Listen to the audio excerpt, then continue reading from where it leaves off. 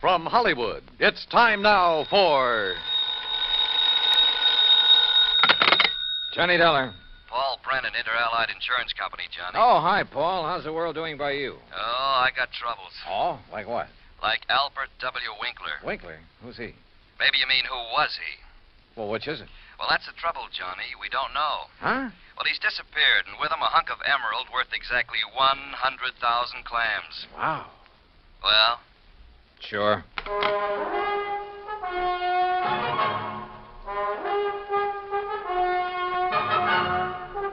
Bob Bailey in the exciting adventures of the man with the action packed expense account. America's fabulous freelance insurance investigator. Yours truly, Johnny Dollar.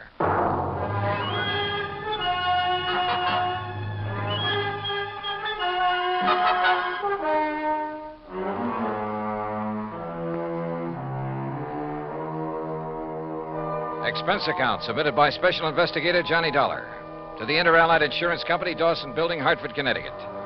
Following is an account of expenses incurred during my investigation of the Blooming Blossom matter. Expense account item one, a dollar even. Taxi from my apartment to the offices of Inter Allied, where Paul Brennan wasted no time in getting to the point.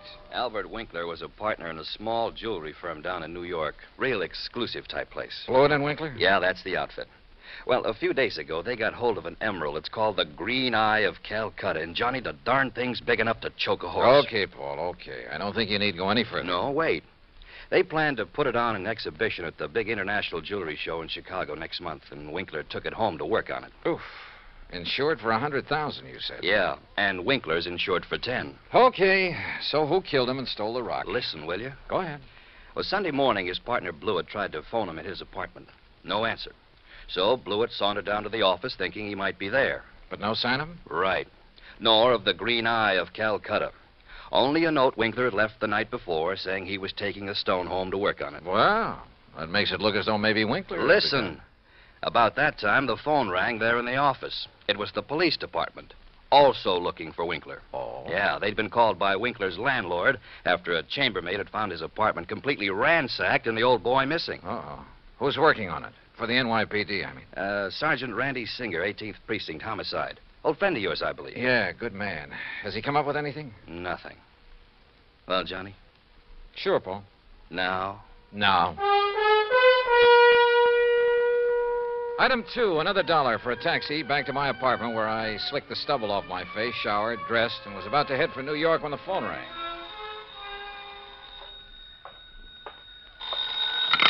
Johnny Dollar. Johnny Dollar? That's right. Well, who's that? Oh, yes, of course, Mr. Dollar. Huh? I must talk with you, sir. It's important, very important. Well, who are you? Me? well, this is Wilbert Kenworthy Blossom. Yes, and I must see you right away. Well, what's this all about, Mr. Uh, Blossom, did you say? Oh, why, that's right. How did you know that? Oh, for... is this some kind of a gag? Certainly is not. And to think that now I'll be working with you on a. Oh, it's wonderful, just wonderful. What are you talking about? Why, you, don't you see? I follow every single one of your cases, sir. Either in the newspapers or on the radio. Oh, I'm your biggest fan. Is, uh, is that all you call to say, Mr. Blossom? It is not. I'm calling about the mysterious disappearance of Mr. Albert Winkler. Winkler. You know something about him, his whereabouts? I certainly do. Where are you, Mr. Blossom? Uh, here at my house in New York, and I'll be waiting for you, sir. Goodbye. No, wait. Give me your address. Oh, yes, course. How could you know where to come if I hadn't given you that? Yeah. that was silly of me. Well, goodbye. The address, man, the address. Oh, oh, of course. Yeah. It's 825 East 73rd Street.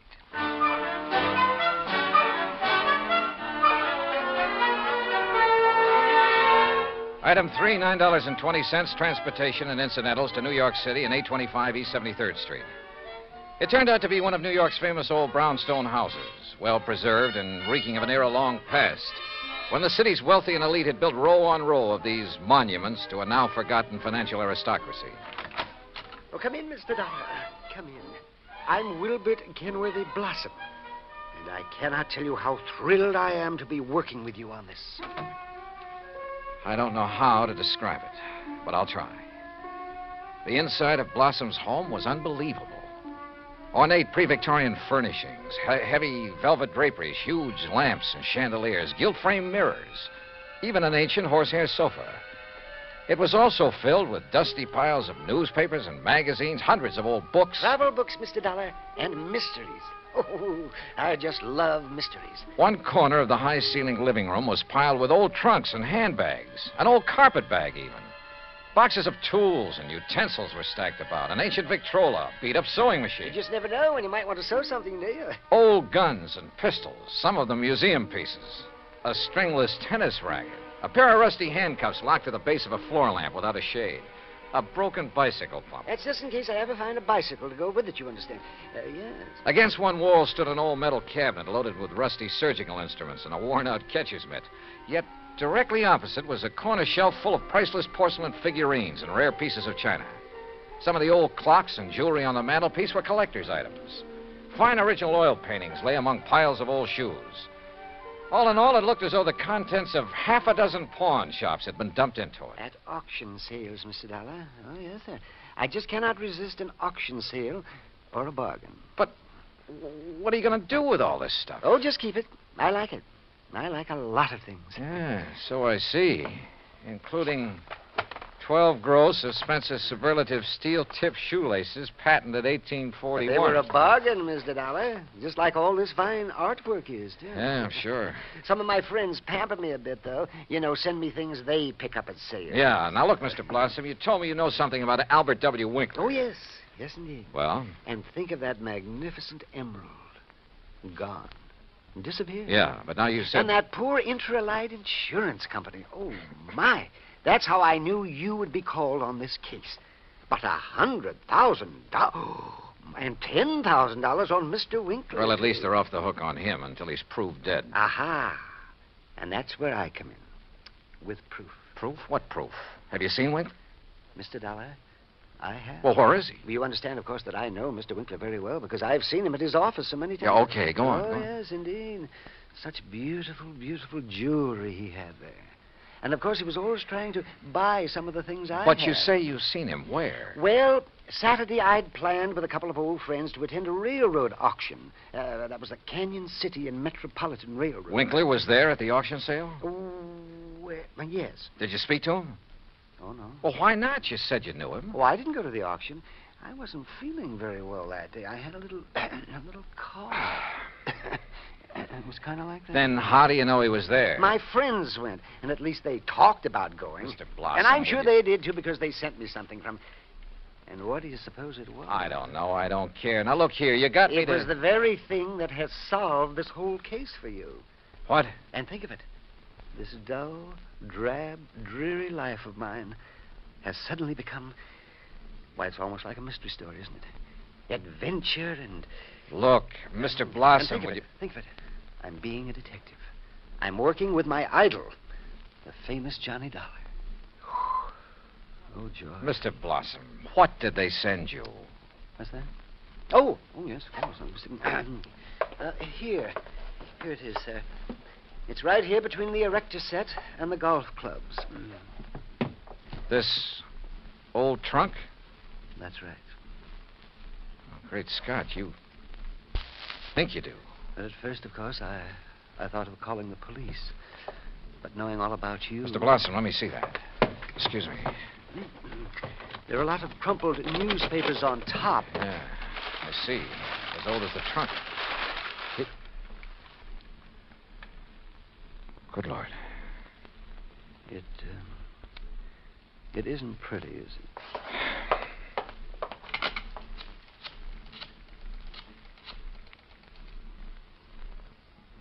Sergeant Randy Singer, homicide. Randy, Johnny Dollar, get somebody over to 825 East 73rd Street right away, will you? Body of Albert Winkler. Randy got there in a matter of minutes, got the same story from Blossom that I had, then called for the lab crew to come and take over. Now, now, who delivered this trunk, Mr. Blossom? But it was just, um, just a delivery man. Can you describe him? Would you know him if you saw him? Yeah, well, he was big and strong. He was very strong. Distinguishing features, scars, or a limp or a beard or Well, something? Well, I told you, Johnny, he was big and strong. How old? Well, I would say he was somewhere between 25 and, um, Yeah? 50. Uh, Yes, I'm sure. Well, that's a lot of help. Yeah, you better have those thick spectacles changed. But he was big. Yes, we know, and strong. What about his truck? Oh, I didn't see that. He left it outside. No. Now, look. These friends of yours who did attend the auction, who were they? Oh, oh, yes. Now the investigation proceeds. Now the excitement. Who were they, Mr. Blossom? Uh, Oh. Well, there's uh, Randolph Harrison and Percival.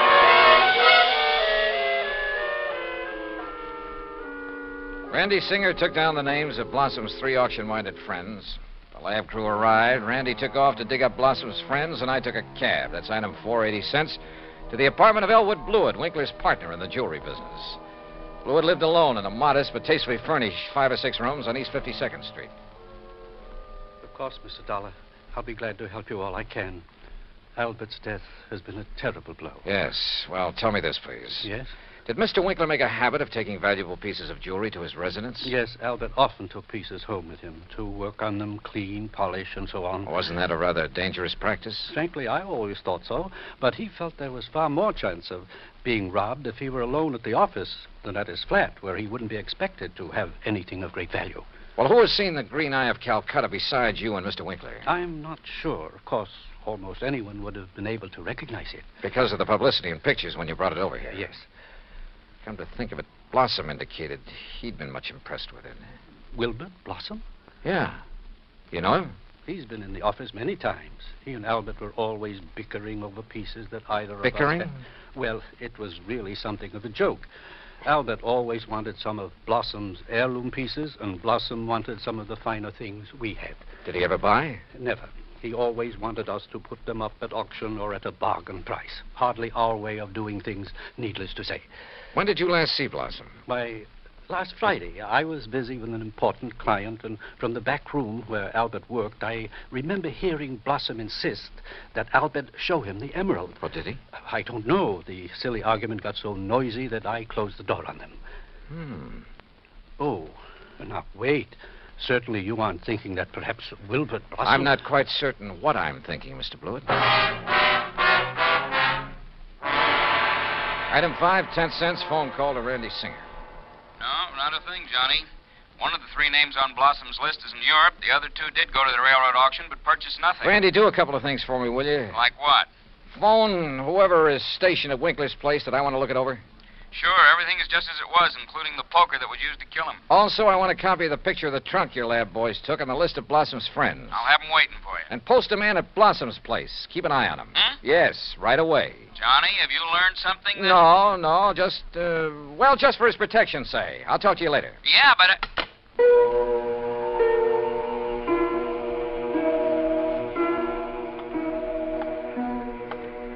Blossom. Yeah, Blossom.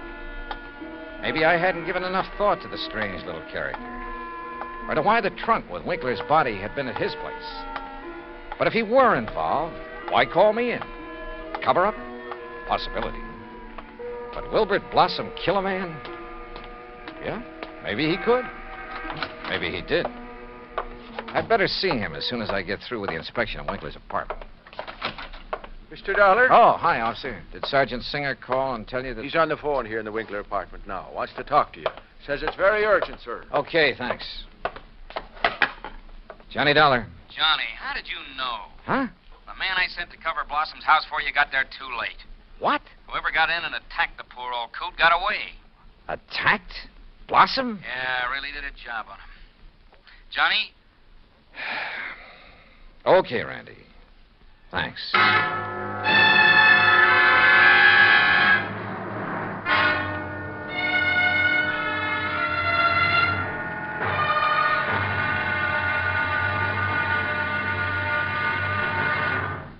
Act two of yours truly, Johnny Dollar, in just a moment. Now, Act two of yours truly, Johnny Dollar, and the Blooming Blossom Matter.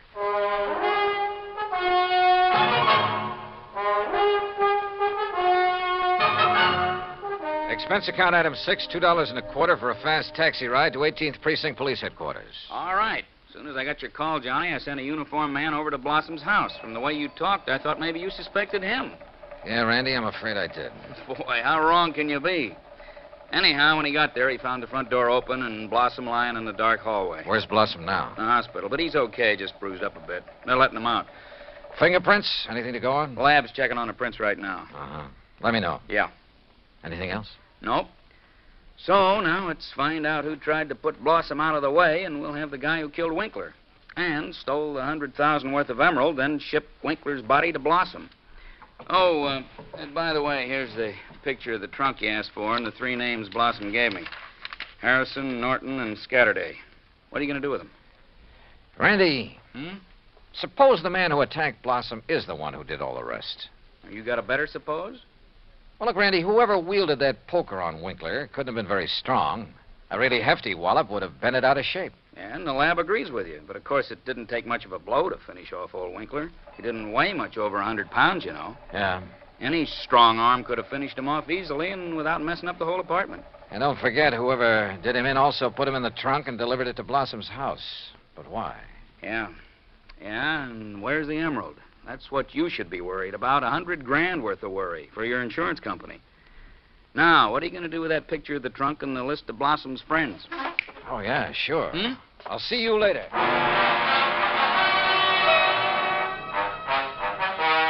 Item seven, five dollars and a half for a taxi to the warehouse of the Canyon City and Metropolitan Railroad over in Jersey. There I finally managed to track down a man who knew something about their occasional auction sales of unclaimed baggage and stuff. Insurance investigator, eh? That's right, Mr. McKinney. One of those boys with a fancy expense account, eh? Well, that's a matter of opinion.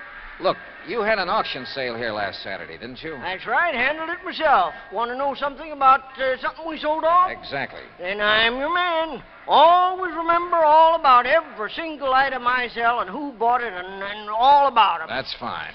Because I want to know if any of the names on this list bought from you on Saturday. Yeah? Randolph Harrison. Man by the name of Harrison buy anything? Mm, nope. How about Percival Wentworth Scatterday? Nope. Ellsworth Norton? Nope. You sure, Mr. McKinney? I'm sure. How, uh, how about Blossom? That a man's name? Yes, Wilbert Blossom. Well, No, sir. Nope, never heard of him. And like I told you, I never forget the stuff I sell or the fellows I sell it to. wait. This picture of a trunk. Huh? Have you ever seen this trunk? Well, yes. Did you sell this trunk on Saturday? Yes, I did. To whom? Come on, man, it's important. Well, uh, I was real early in the sale. Yeah, before most of the people got here. Uh, bought this trunk and had it sent to his apartment in New York. And his name? Well, it was a funny kind of name. Uh, Blinky or Winky or. Uh, Oh, no. Winkler. Winkler. That was it. Albert Winkler. Item eight, two dollars, two drinks for myself at the nearest bar. But they didn't help to kill my feeling of utter frustration. Item nine, five fifty taxi back to 18th Precinct headquarters in New York for want of a better place to go. Oh, it's about time you got here, Johnny. Oh, We matched up the prints we found after Blossom was attacked. you know who made them? Yeah, here's his card. Carlo Bernasconi. Any reckon? Couple of a dozen arrests, only one conviction. Anything to do with jewelry? Better. Accessory to a hijack operation a couple of years ago. He drove the truck. Hey, Sure. got a mugshot of him? We got him downstairs. Come on, I'll take you down. Randy, what's he look like? Like you'd expect the truck driver to look. Big husky brute. Has he admitted anything? Well, the threat of a murder charge made him talk, all right, but none of it makes any sense. Of course it doesn't. But he's our boy, all right. He killed Winkler, beat up Blossom. I thought your lab decided whoever killed Winkler was a small fella. Mm, yeah, I. So the theory about the same man killing Winkler and beating up Blossom doesn't work. But Johnny, holy. Come on down. Let's talk to this Bernasconi. After I make a phone call. Huh? Yeah? Get me a man named McKinney, Canyon City and Metropolitan Railroad warehouse over in Jersey. Make it fast, please. Yes, sir. Hey, you been over there, Johnny? Just before I got here. Did you find out anything? No, but I'm going to now. Like what? Randy, for the first time, this whole thing is beginning to make sense. Here's your party. Mr. McKinney, That's me. this is Johnny Dollar, remember? Sure do. Good. And say, Now- I've been reading in the paper since you left here about that body found in the trunk over there in New York. Yeah, well, look. In that same, is that same trunk you was over here asking about? Yes. Now, you told me that trunk was bought by a man who gave his name as Winkler. That's right. Do you remember what he looked like? Sure do. Why, I can give it to you as accurate as if it was in the police files. Well, Height, uh, hmm, five foot nine, maybe nine and a half. go on. Weight, between 155 and 58. You see, when I was young, I worked with a carny show, guessing weight and height, and if I didn't guess it right... Yeah, okay, okay. Now, how about the uh, color of the eyes? well, I noticed them because of the way he squinted through them thick, old-fashioned steel glasses. Thanks, Mac. I'm sending you a 10 spot in the next mail. Well, now. Well, Johnny, Come on, Randy. Let's go down and see this Bernasconi. you find something out new? Yeah, and I don't like it. I don't like it.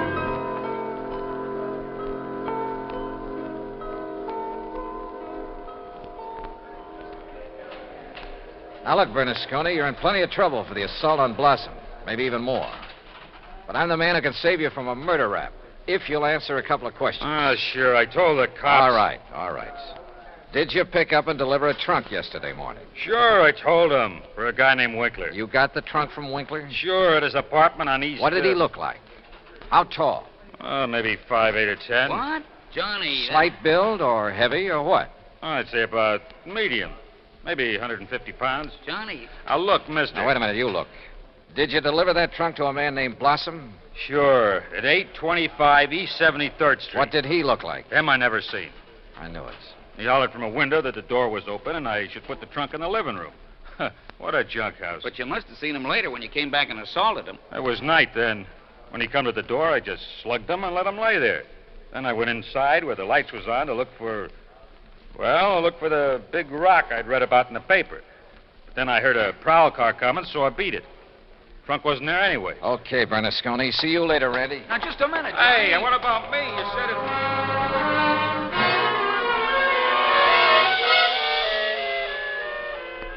Item 10, 90 cents taxi to Wilbert Blossom's old brownstone house on East 73rd. Come in, come in, Johnny. Thanks, Mr. Blossom. All recovered from your beating? Oh, of course I am. Here, sit down, sit down. You, uh, you said you wanted to help me on this case. Oh, yes, yes, indeed. Why, this chance to work with a man I consider the finest insurance investigator in the world. Yeah. That's why I called you when I got the trunk with Mr. Winkler's body in it. Mr. Blossom, why don't you All tell the truth? All my drab, dull life, I've wanted to be a detective, an investigator. And this was my chance. My chance. To Tell the truth, did you say? Mr. Blossom, listen to some facts for a minute and see what conclusions you draw from them. Oh, deductions. like a detective. To begin with, this house of yours so full of, well, junk. I told you, Johnny, I like things. I like things. But it also has a lot of fine paintings, sculpture, china, jewelry. Oh, I like all sorts of things, especially if they're fine and rare. And bargains. Like the Green Eye of Calcutta? Oh. The most beautiful emerald in the world. And I would conclude that you'd do just about anything to have that stone. Yes, sir, Johnny. I'd reach the same conclusion. Okay. Now, when Albert Winkler and the emerald disappeared, it was in the papers that Inter Allied had written policies on them. Conclusion? Oh, yes, sir. I would deduce that you would be called in. Wouldn't it be smart then, if the killer was afraid I'd eventually get around to him anyway? Wouldn't it be smart for him to call me in and offer to help me? As a cover up for what he'd done? Oh, yes. Oh, yes, yes, indeed. Or at least he'd think it would. Oh, yes, I, I guess he thought it would. Another thing, Mr. Blossom. Oh? What is it, Johnny? The body was packed in the trunk with old newspapers. Like these you keep piled around. Oh, yes, yes. And, I would deduce. So obvious that both Randy Singer and I overlooked them completely. Oh, well, there's so many things piled around here. you couldn't be expected to... Johnny, Yeah. what really made you decide that. Uh... Well, I'd like to know. All right. Albert Winkler was a frail little old man, about 4'11, not much over a 100 pounds. Yes, he was. But the man who bought the trunk and had it sent to Winkler's apartment, who gave his name as Winkler, that man was about 5'9, 155 pounds. And he wore thick, old fashioned steel rimmed glasses. But, Johnny, I can't see without them. Then there's the truck driver. The man who ordered the trunk delivered to this house gave his name as Winkler, too. But Winkler was dead by then. Dead from a blow inflicted not by some big bruiser, but by somebody of, say, your bill. Oh, that awful truck driver who thought the emerald would be in the trunk and came here to steal it and who beat me up. I suppose you want the emerald. Yeah.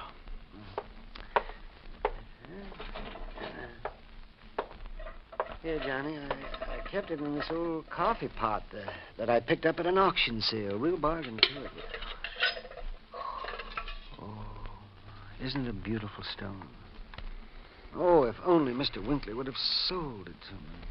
At a bargain, that is. Then none of this would have happened. Well, I guess we better go now, hadn't we? It's such a silly thing. Me trying to act like a detective. I guess I didn't even make a very good killer. Did I? Why? Just this overpowering passion to have things? Maybe. Or maybe it was just a reaction. A last desperate attempt to, some way, any way, break from a lifetime of lonely, dull, drab idleness. I don't know. But for some crazy reason, I feel sorry for the funny little old character who turned killer. Expense account total, including incidentals and fare back to Hartford, $61.55. Yours truly, Johnny Dollar.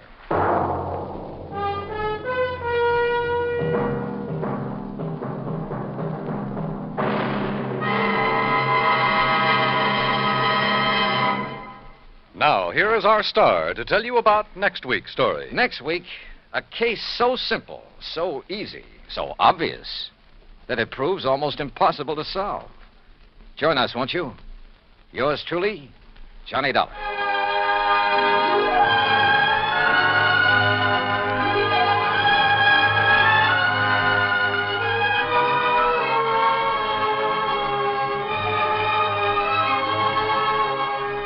Yours truly, Johnny Dollar, starring Bob Bailey, originates in Hollywood. It is produced and directed by Jack Johnstone, who also wrote tonight's story. Heard in our cast were Howard McNear, Herb Ellis, Herb Vigran, Junius Matthews, Herb Butterfield, Frank Gerstle, and Johnny Jacobs.